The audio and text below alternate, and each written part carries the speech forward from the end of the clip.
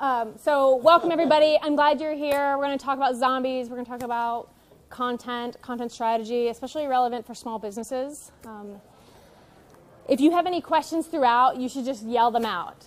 Okay? You don't need to wait for the end. I've reserved some time at the end, but feel free to stop me in the middle if you want. If I use some kind of jargon that you don't know, just say, Melissa, what's that? And I'll, I'll clarify. So, no need to wait to the end. oh, no. Business speak that has no meaning. So, um, the most important thing is that you get your questions answered. Um, I'm also not going to let anybody derail the whole presentation. So if anybody's worried about that, we're not going to do that either. We can always talk afterwards as well. So let's get started. A little bit about me. So uh, I spend time dealing with websites, dealing with apps, helping them uh, be more clear, helping them be more user friendly. So I'm called a content strategist, which is a subdivision of UX, like the UX world. I spend a lot of time do, doing user experience research as well because you actually can't have good content strategy unless you understand your users and your customers really well, which makes sense, right? So, but let's talk about zombies. Let's not talk about me. I want to hear from you for a minute. Let's think about common zombie traits. Can you yell some out for me? What are typical things you think of when you think of zombies? Dead. Dead. Slow movements. Fleshy. Flesh eating. Unoriginal. Unoriginal. That's right. Inconsiderate. Inconsiderate. Very good. Yeah. So I've been thinking a lot about this lately. And one thing I think a characteristic is that they're often confused or confusing. So here we have a confused zombie. Zombies often don't know what happened to them. They just know they're kind of in this state. They also can't explain themselves very well, which is confusing for everybody who interacts with them. And this is similar to a bad website, right? When I go to a website, I might be confused, like I've hit this one. This is a real website. Is us the one stop shop? I had to do the screenshot where you could see that I didn't actually cut it off at the top. It's just naturally cut off at the top. and it, this, when I first hit the site, for a minute I paused because I saw the camera and I saw the woman without the clothes, and I was like, did I just hit a porn site? Like, I'm not really sure. That wasn't the case. It's actually a, a nail salon, hair salon, and photography studio all in one. This is really confusing. I certainly can't figure that out very quickly. I mean, and they do parties? Do you see that somewhere? Yeah. All kinds of stuff. So, this is a confusing website. I would say this is a real zombie kind of website. There's other kinds that are kind of confusing, like this one. What do you think they sell? Yeah, so that's what's so interesting is this is actually a really dynamic, interesting shop right near my house that looks like this on the inside. And so when I went to their website that looked like this, I was like, this can't be the right website. Like I was like, I must have let me this must be another Morgan Imports. It's a really wonderful shop that's really dynamic, not coming through whatsoever, right? So it left me confused. So that's one characteristic about websites and also zombies. Another characteristic of zombies is that they're very haphazard in the way they operate in their movements. Like, for instance, they're very disheveled. You can see these are some guys from this movie Warm Bodies, which was a zombie movie that came out a few years ago. I got permission to use this photo from the studio. And you can just see they look kind of, you know, not real sharp, right? This happens on websites, right? Here we have an example of a website that looks a little haphazard, a little disheveled. It's the slider that actually doesn't work, right? and when I first went to the UNC College of Arts and Sciences and found this, I was like, well, that's pretty crappy, but I'm sure they'll fix that. So I had another talk 30 days later, and I went back. It hadn't been fixed, oh, right? So that's this, like this haphazard kind of disheveled look is not good. Typos, totally zombie, right? You can't have typos on your website. Like once you get your website up, you just need to be sending it to everybody who's not seen it lately and be like, hey, can you check me for typos? I'll give you a prize. I'll take you out to dinner if you can find a typo or anything that looks wacky. If you don't have any visual hierarchy, because you've actually never taken like Design 101 and you're making your own website, you're going to look haphazard. You're going to look disheveled. Talk to a designer or just take Design 101. You can even take it through lynda.com nowadays and at least get some of those principles. So that's another common thing zombies have with bad websites. And the third thing I really think about is that they're really indistinguishable. Zombies are very unoriginal, as somebody shared. They're very similar. If I asked all of you to stand up and start acting like zombies, I bet you'd all do the same thing. I bet you'd kind of lurch over like this and you start like dragging your leg you would all do that. I mean, because that's kind of what we think of when we think of zombies. There's this similarity to them, there's this rote nature to them, and that's, that's a big issue. Here they all are on the zombie lurch. Have you ever seen a zombie lurch? They're really popular in a lot of uh, cities now, where everybody gets together and they all act like zombies. Very fun. they all look the same. They're all bloody. They all kind of go along, that sort of thing. And that happens a lot. One of the biggest issues with websites is that they tend to be indistinguishable from each other at times. This is my friend. She's not a zombie. she is, her name is Dr. Julie Lellis. We're working on a book together about all these ideas. And so she has spent her research looking at a lot of nonprofits, for example, and dealing with uh, some strategic communication issues. That's like her, her realm. And what she did for her, I guess this was even back, like the beginning was her thesis project. It's now been 10 years later. Um, but she's continued to found this, this happen. So she studied 10 local nonprofit disability kind of organizations. So I'm not allowed to tell you their names, but if you can think of any like major disability somebody might have, like say multiple sclerosis or something of that nature, you would probably come up with one of these organizations' names. And she looked at 10 of these different websites that they had. She looked both at their websites and at some of their promotional marketing materials to really see what is the main message they're trying to get across. And she did what's, you know, like a message analysis, a content analysis. And what she found was that all 10 were saying, we're helpful. This is the main message of the 10 disability nonprofits. We're helpful. Well, that's great. You're a nonprofit. You should be helpful. That doesn't make you different than anybody else. You shouldn't be distinguished by the disease you're addressing. You know, there's other ways to distinguish yourself. We're helpful. We do a lot of blah buzzwords, right? I kind of want to just cry when I hear the word innovative. You know, please don't tell me you're innovative. Please put a testimonial of a client saying, I'd never seen anything like this before, or this was a totally new experience for me, or something that actually tells me that it was really unique. And reliable, honest, friendly, that's kind of like business 101. You know, if we're going to do business, we need to be reliable and that sort of thing. So this kind of looking like everybody else, I feel like is very zombie-like. It's very indistinguishable. And what causes it? What are ideas? What causes this? Lack of. Lack of. Creativity. Lack of innovation. no. Say it again. Wanting to be imitative of your competitors. Yeah, wanting to imitate competitors. Absolutely. Copycats. Right? We tend to be copycats. So I worked in higher ed for about four years, and it was the ultimate in copycats. I mean, I could be talking to people who are world renowned researchers or whatever, but when it came to the website, I'd say, well, what do you want to, you know, tell me kind of your ideas for the website. The immediate question was, well, what is so and so doing? And what's this group doing over there? And it would happen with groups too. I'd be like, okay, you're the center for blank. And they'd be like, well, what's the business school doing? And I'm like, well, it doesn't really matter what the business school is doing. Tell me what you're doing. Like, tell me a little bit about you. And it's not that we don't do competitive analysis. Whenever we are, um, so for example, I'm in the middle of helping a client do a website redesign. And I'm starting with competitive analysis. So I'm like, let me know who you lose business to, and let me look at their websites. And if you haven't done a competitive analysis, you're kind of like, I'm not really clear on what that is come see me afterwards. I'll happy to, I'm happy to show you what it is because it's just an Excel spreadsheet. But I don't do it in order to then copy. I do it in order to then go, how can I stand out? How can I be different than everybody else? So it's easy to be a copycat because it's scary sometimes to stand out from everybody else. You can only put yourself out, you're a little bit vulnerable. But you don't want to be a zombie like everybody else. You really do want your own unique self to come through. There's another reason why I think we end up with kind of these situations where we're, we're either indistinguishable or haphazard or that sort of thing. And it's tweets like this. And I like Entrepreneur overall, but I hate these kind of fear based statements. Like, if you're not using video, you're screwed, you know? Or if, like, if you don't have a hero image, pff, your website is so outdated, you know?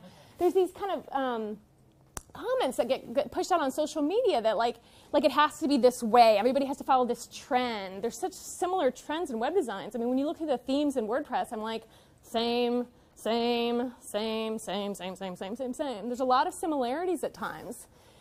And I, I think that's, that's not necessary. I mean, we want to follow best practices and that sort of thing, but that's a way to get become haphazard. where you're not making deliberate choices. You're just like, well, they're doing it. I should do it. I'm going to throw it up there. So, what's the solution, right? To not be a zombie. So, I think the focus is identity. And I'm not talking about identity as in logo, which at some point the design world grabbed onto and we're like, identity is logo and colors. And that's actually not what it is.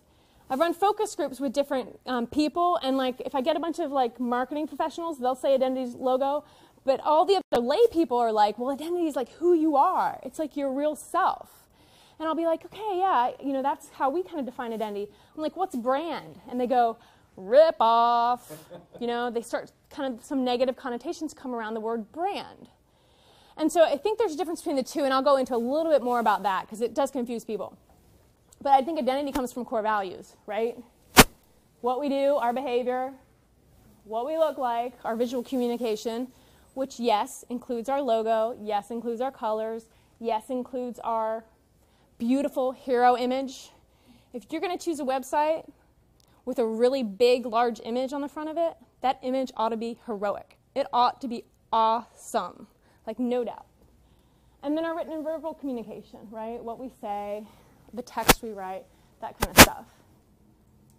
We can notice that what we say is on the outside, because what we do is the true self, right? We can say we give fast response times and then not actually respond to the contact form request that came in, right? Which then negates whatever we say. And so that's why social proof is so powerful when you have third parties saying what you've done because it gets to that whole this is really what they did. This isn't just what they said they would do. So whenever I'm dealing with a client and they're kind of putting a lot of text up there, I'm like, do you have to say this yourself or can somebody else say it for you?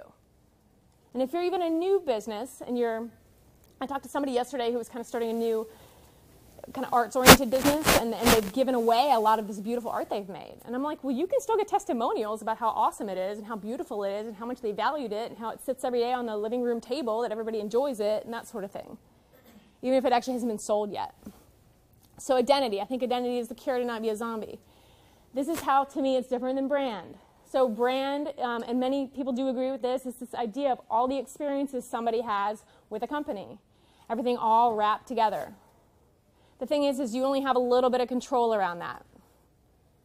And the foundation is your identity. An easy way to think about this is actually if I go into give you an example of a person and not a company, and I think you'll get this. Tiger Woods is the ultimate zombie. Tiger Woods was the golden boy, the mixed race, excellent athlete, the poster child everybody wanted to endorse. And then 2009 happened. And then we're looking at the news and we're seeing like golf club chasing car issue, like what's this drama? A few months later, we're talking 15 mistresses. We get a we finally get the um, the press conference four months afterwards.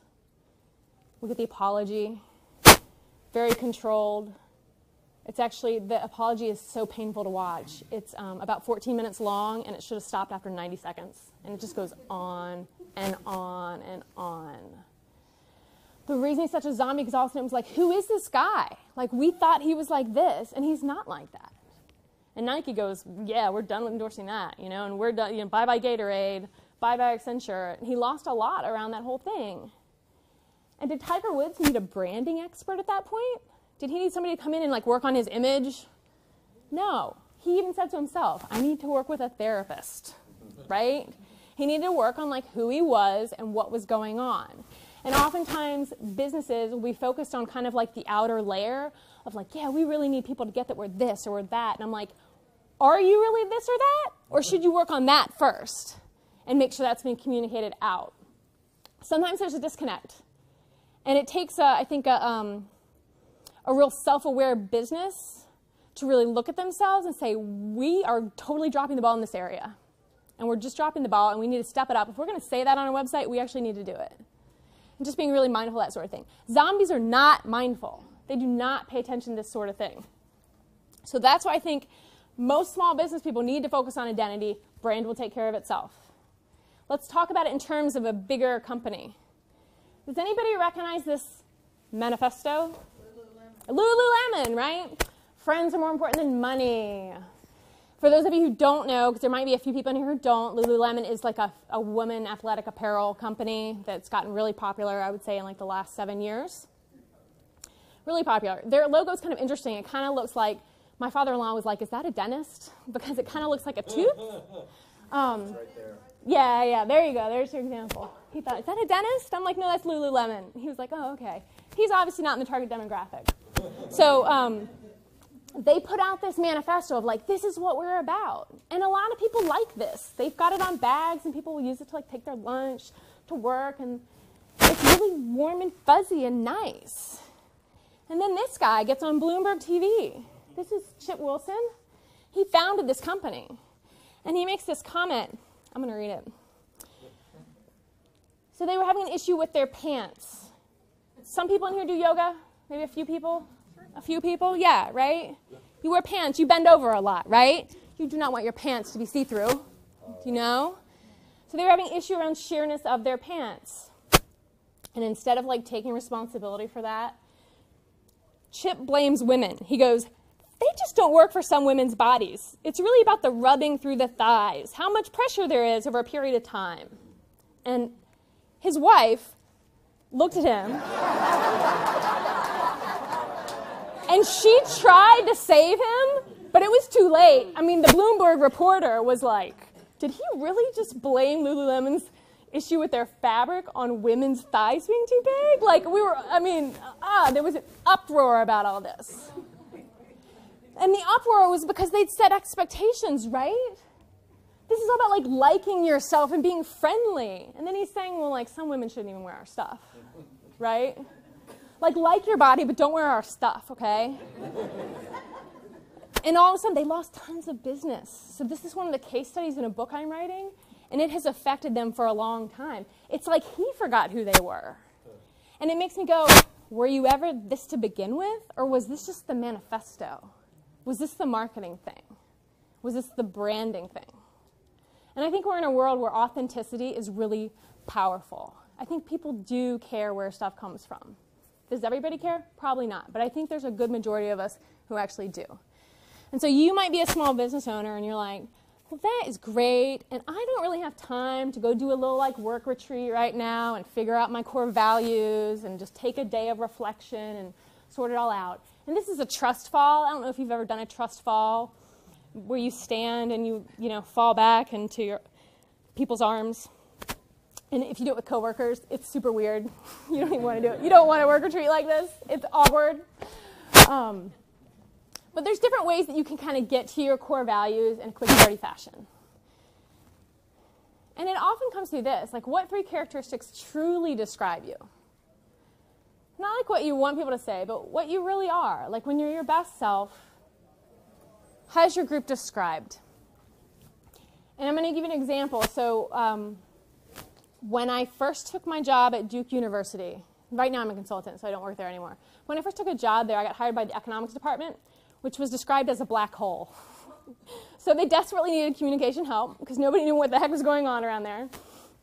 And I spent time doing stakeholder interviews. So if you're in like a little bit of a, a larger company that's not just one or two people, you actually kind of go around and talk to people. And I just would go. I went to the chair of the department. I went to the co-chair. I went to the chair's wife. I went to other people, and I said, "Well, what are the three characteristics? Like, what describes this department? How's this department different than the other departments? And why are we different than like the economics department at Michigan? Like, I don't understand. You need to tell me." And they could all really articulate it really well, right? And they were like, "These are. This is it. Like, we are young. We are not like the old guys just sitting around. We are actually a lot of people are under 40." There's tons of research going on. Actually, Melissa, the guy across from me on the hall, he's got like more citations than all of us put together, and blah blah blah. And so it kind of gave me these are these are descriptive phrases. They're not exactly adjectives, all of them. Okay. And it really helped me because then when I was making a decision about content on the website, I'm picking pictures like this with all the young guys, right? It kind of looks like Gap commercial, especially because of that guy in the middle, right? And like. And they look young. I mean, Jimmy looks 12, right? And he's really like 30 at this point and has children. But so it's helping me inform those content decisions because I'm remembering like these are the three things that they really feel like they are. And so when it's really important during the year for them to get this message out that we're young and research active, the younger guys in this case a young lady too, are going to be on the front.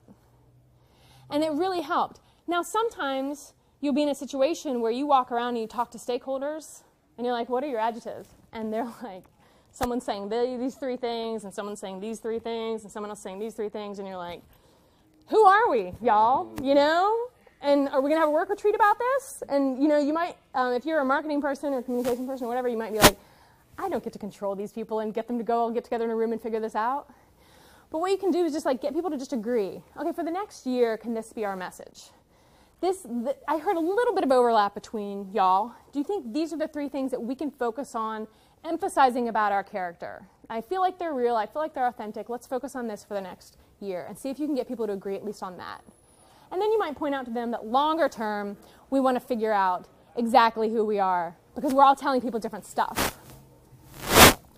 So when I, um, I worked for a, I did some consulting for a group of really smart people who run around fixing enrollment systems for high schools, which is a big deal if you're a parent and trying to get your, your kid into different high schools and that sort of thing. So they ran around fixing that, and I spent a lot of time talking to them about what does somebody have to really get about your website? You know, this is this is always the ultimate question. What if they can't get anything else? Like, what do they have to get? And he'd be like, well, they've got to get we're politically neutral. They've got to get that. You know, and they would tell me their adjectives. They were really clear about this, and they would tell me these are our adjectives. And I'm like, that is great, Neil. I'm so glad you told me that. We're going to make sure your website reflects these adjectives.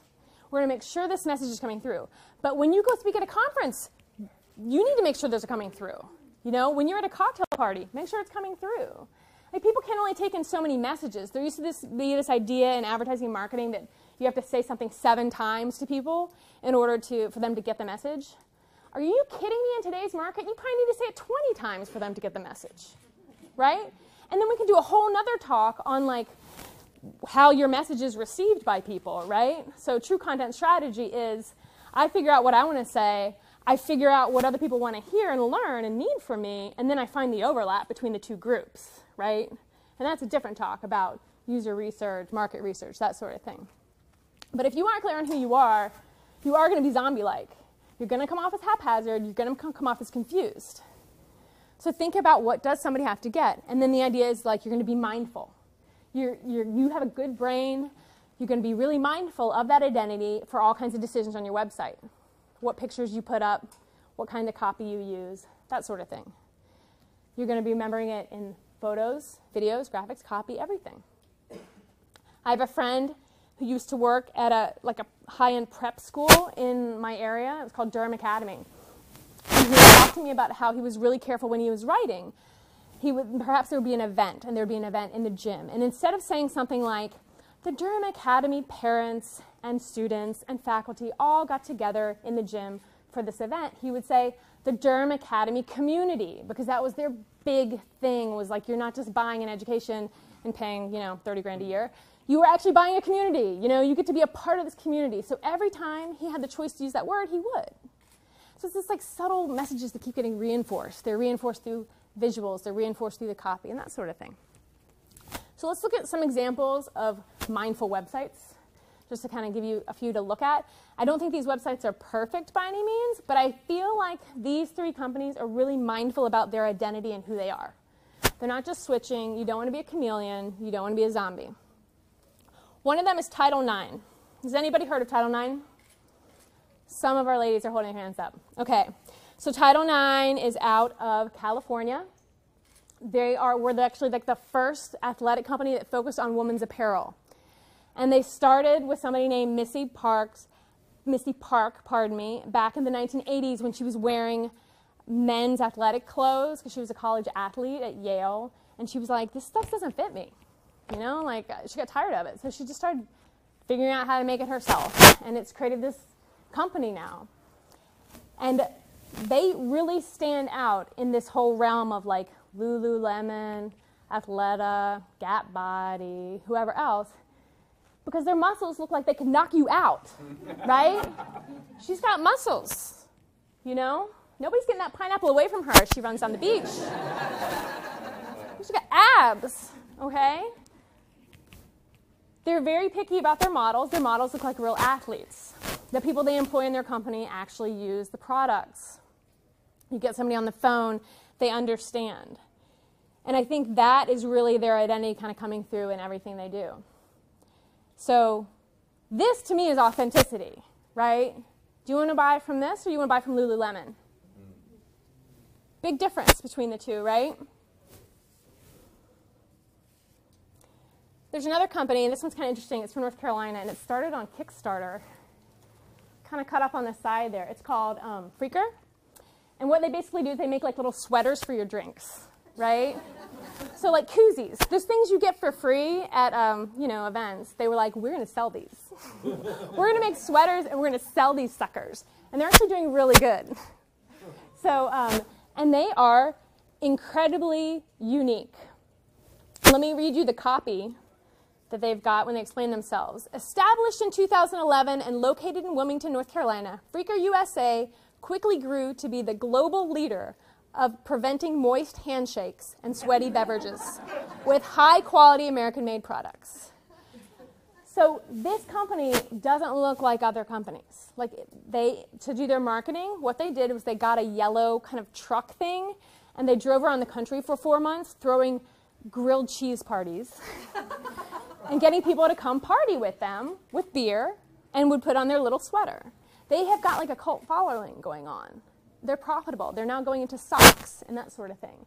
And the thing I think that really stands out to me about them um, and really makes them not a zombie is something Ann Handley. I went to a marketing conference not too long ago, and Ann Handley is a um, author of a book called Content Rules, a very good book. She also does lots of blogging, which is very good, and she's a speaker, kind of a content marketer sort of person she really says this quote that impacted me. It said, if they took the, your label away, your logo away from your website, would they know it's you?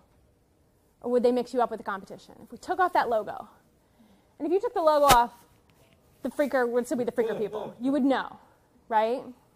But too many, too often, we kind of, kind of like, ooh, is our copy that different? Like, do we really stand out from our competitors? Or are we kind of, kind of the same? Or are we kind of just saying the same thing, maybe with like a different synonym? And of course, there's going to be some similarities because we compete on services, we compete on stuff. So, how else do we stand out? Let's look at something that's not quite, quite as exciting. I mean, you may be like, there's no way I'm ever going to take my business on the road for four months and go throw grilled cheese parties or any other kind of parties. Like, that's not my business, right? Maybe you're like, I'm a law firm or I'm something like that. So, here's a law firm that I think it's not a perfect website. In three seconds, do you understand what they do? Yeah, right? Their identity is clear. They are dealing with accidents. That's their thing. And they're, it's actually kind of depressing. You get their website, it's just kind of like accident after accident after accident. Is it um, well received by clients? I'm not exactly sure. I can see they're very mindful of their identity. And I think this is stronger than a lot of the website trends I've seen in professional services where it's like the big head of the lawyer or the accountant or whoever being like, hi, welcome to my site. I'm going to be friendly guy. You know, I feel like I see a lot of that lately, either men or women who are like, hey. I don't know. There's this whole idea in um, the world of web design and UX in particular that within five seconds somebody should know what your site is, like what it's about. Very clear, okay? And you can test this. You can test it on a site called usabilityhub.com. It's the, it's the site I tend to use because you can do it for cheap. You can, you can take a screenshot of your homepage and if you're in the middle of a redesign, you can take a like a shot of like the Photoshop file or the design before you code it. Don't code it until you test it, right? Throw it up there. Let people look at it for five seconds, and then you ask them just a few questions. What's this site about? Whose site is this? Well, who's the target audience? And just ask them a few basic questions and see if they're getting it. See if they're getting the main message you're trying to get across. See if it matches. Now you, now you may be like, okay, I'm on board with this, Melissa. This makes sense to me. I'm on board with identity and core values is going to come through. I'm going to work on being authentic. And then you're like, but I've got a bunch of other people who are not interested in listening to me, right? And coworkers can be like that at times. And I bumped into that. If any of you are from big organizations, there's times when people are like, yeah, yeah, yeah, I know, but I just am doing this. You know, or like, I'm on this part of the website and you're on that part of the website. And it's hard to influence sometimes other people. So there, there's a strategy to do this, right? And, and it may just be you are the marketing communications person and the business owner. And the business owner, you're like, I got to influence this business owner to get clear on our values and get them coming out. And you start first by documenting it, right? So you actually write it down. So, you know, there's the whole phrase of like, if there's a tree falls in the forest and nobody's there to hear it, doesn't make a sound. Like, is it even a communication plan if it's not written down? If it's in your head, it doesn't count as far as I'm concerned, right? Like, content strategy is like this new sexy word for something we've been doing forever, which is communication planning, right? Content strategy became popular because content has become popular because we've got, we're all online now. And when the iPhone hit in 2007, everything went crazy in terms of content and having computers in our pockets and stuff like that. So we've got to be making a plan for this. We've got to plan for our content, be clear on, okay, these are our three things. If people get, and if people get nothing else about us, they have to understand this one thing. And you keep reminding people of it, right? This is why companies do mission statements or vision statements and that sort of thing. But there's a big difference between it being on the wall and something that's actually talked about.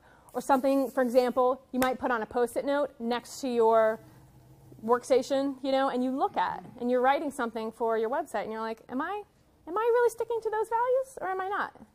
And you may think, oh, I'll totally remember this. You won't. I've had to train people in this, and they send me their stuff to edit, and I'm like, you totally forgot about, like, it's missing. We really need those reminders for ourselves and for other people. It kind of reminds me, honestly, I'm a mom, and I've got a four-year-old, and I'm always reminding her, like, we don't hit people. We are, we are a family that does not hit people. You know, like we listen to others. Like I'm having to reinforce who we are a lot. And I think in companies we need to do that more. Yeah, we're a company that operates with integrity, right? We're going to do what's best for the client, even if that means in the short run it's not good for us.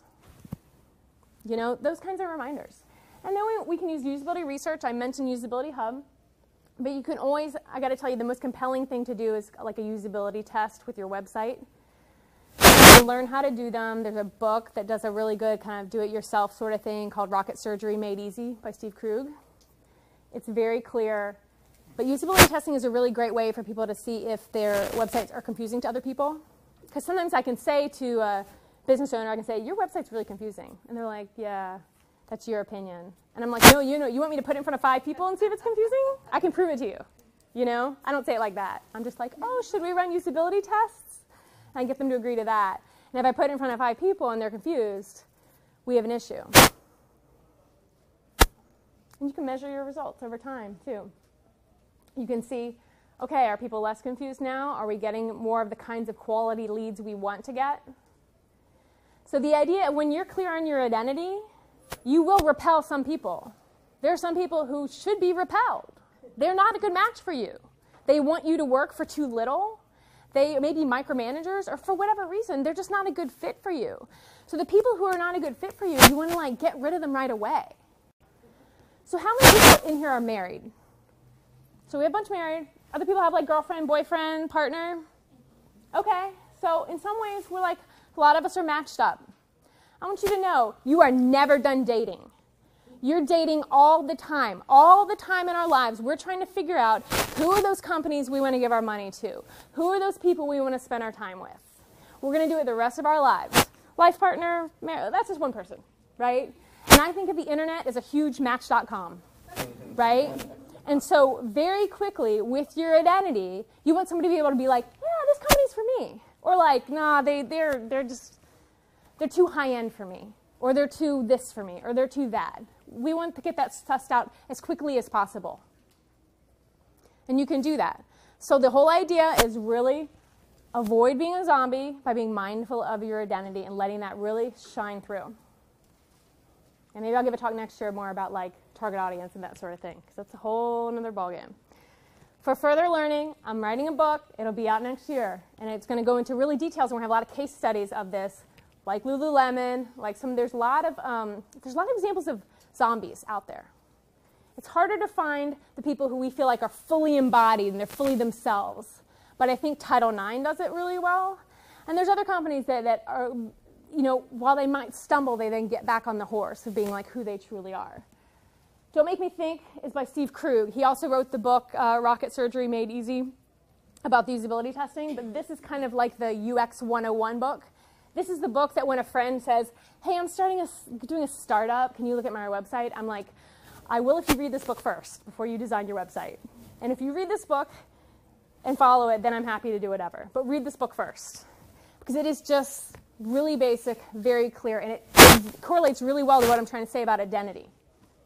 So I definitely recommend it. It's 20 bucks. It's a five-hour read on Amazon. Totally worth it.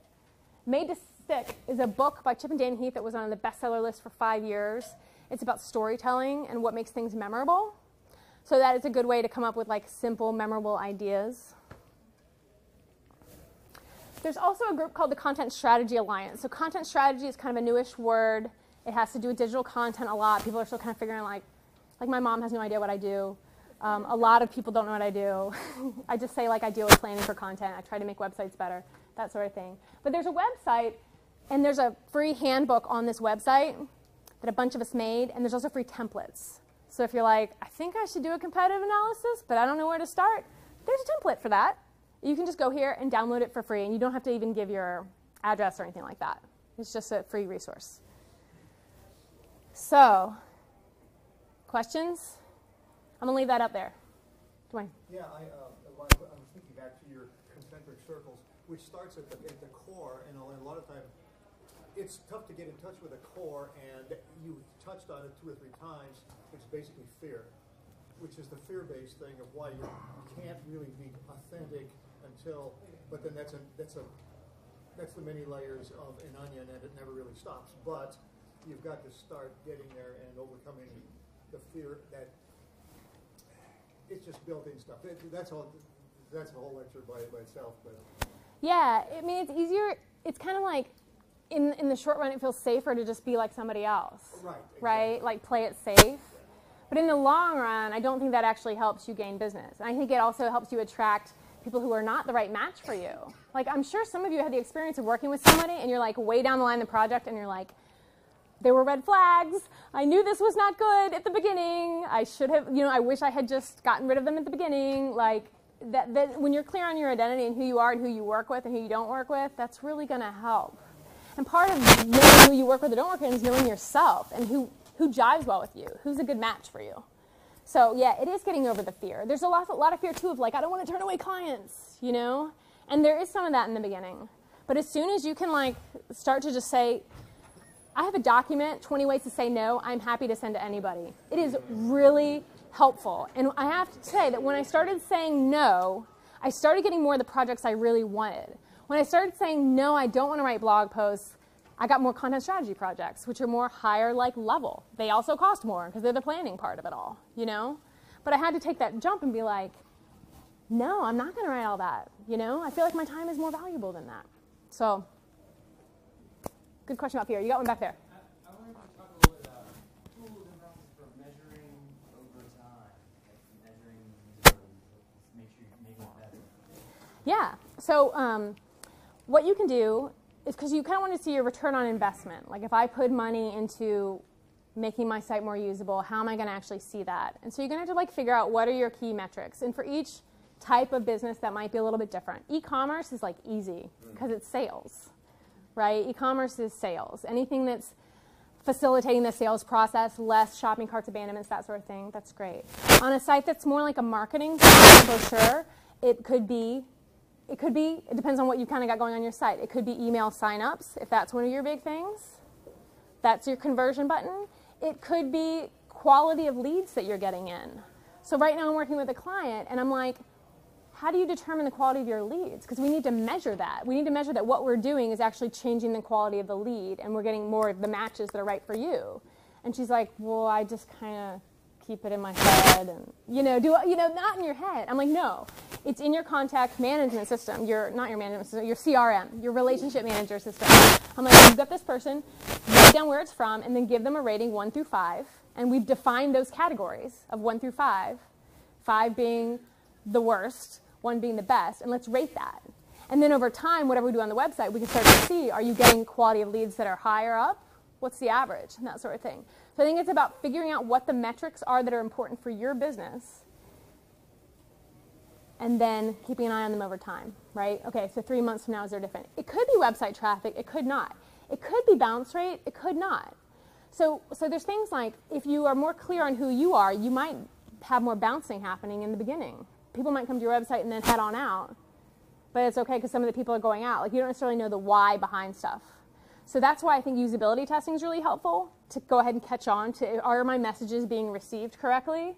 And then you can use another kind of quantitative measure like sales, like um, downloaded paper, white paper, or whatever you happen to do, and kind of look at those together. So it's not just quantitative website traffic, it's not just qualitative, it's the combination of the two. And that's how you measure over the time. You can measure year over year. You want to measure year over year, especially because things can change seasonally. But it's worth it to figure out what is the measure, you know? And, and also sometimes there'll be like measures that like one I'm doing for a client, I go, another measurement is your stress level. Like if you're less stressed out because I'm doing content work for you, what's your stress level right now? And let's see what it is in three months. And if that decreases your stress, well, then that's another measurement we have to into the factor into the equation. And that actually could be one for development too, or that sort of thing, if somebody's trying to do something in-house versus outsourcing. Other questions? Yes. What about content strategy and A/B testing? Well, it's really relevant to A/B testing, right? So you have things like Optimizely you can use for A/B testing or Validately for A/B testing, and you're really just testing to see what resonates the most with the user group that you're targeting. So it's absolutely part of it. Because there is no content.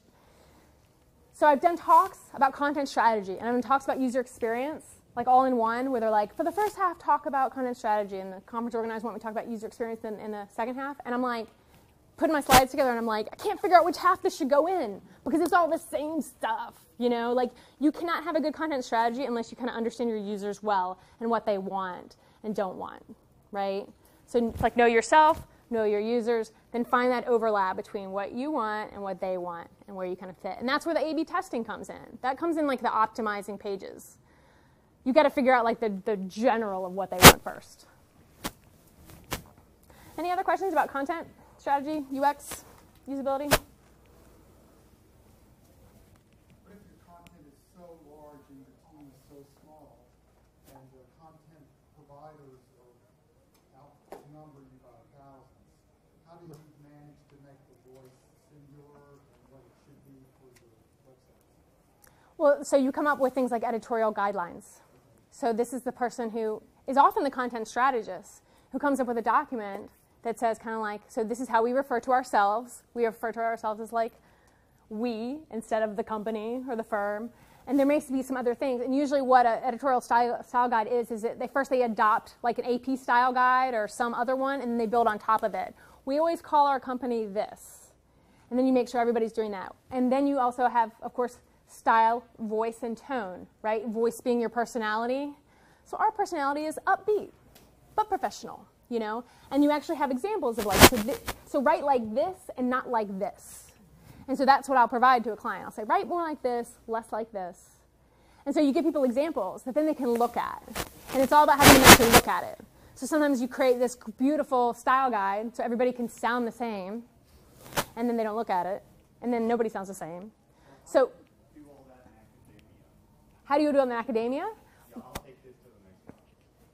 It, it's very similar. So, for example, at Duke, there's an office of branding and strategic communication, and they're coming up with editorial style guide that then can be used by the different entities around the school. The challenge in academia is everybody's like, I want to be different. Like I'm, everybody's so so decentralized, right? But there doesn't doesn't make a lot of sense for you to just to separate yourself out from the big school identity and the big school brand. Like you want to be on board as much as possible in terms of logo and that sort of thing. But it's an editorial style guide and it's written out. And companies like Moo.com and some of the, um, I would say, more forward thinking that are very clear on their identity, instead of doing the style guide like in a Word doc, they'll put them on like cards that people can like flip through and be like, okay, I'm supposed to be using we instead of the center for blah, blah, blah, blah, blah, blah, blah. I'm supposed to be using a more casual tone of voice and that sort of thing. Academia is a hard one. Academia is herding cats. But you just try to do the best you can do and kind of move everything in the right direction and you're trying to scoot people that way. Long view. Any other questions? Great. Thanks, y'all, for coming. I have a. Um